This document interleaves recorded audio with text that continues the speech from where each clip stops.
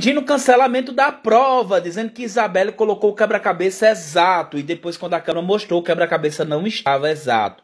Gente, por mais que cancelem a prova, por mais que faça o que quiser, a Isabelle, ela fez a prova em 4 minutos e um, e, 100, e um segundo. 4 minutos e 1 segundo. A Pitel fez a prova em 3 minutos e 32 segundos. Por mais que cancelasse essa prova, a Isabelle não teria ganhado o reality. Ou não teria ganhado o anjo. Ou seja, não ia adiantar de nada se cancelasse, se tivesse vá na prova.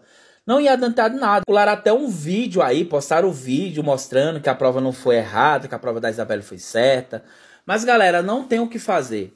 Mesmo que a prova fosse vá, tivesse cancelado ou feito alguma qualquer coisa aí na prova, ou desclassificada a Isabelle, não teria como porque a Pitel fez em 3 minutos e 32.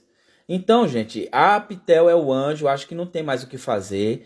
É, eu também acho que não houve é, é, erro, que não que houve erro sim, na verdade, né? Eu ouvi a prova, a, a própria imagem mostrou ali que houve um erro na prova, mas internautas disse que não, que não houve erro sobre a Isabela, que ela montou exato, porém depois que a câmera mostrou estava errado.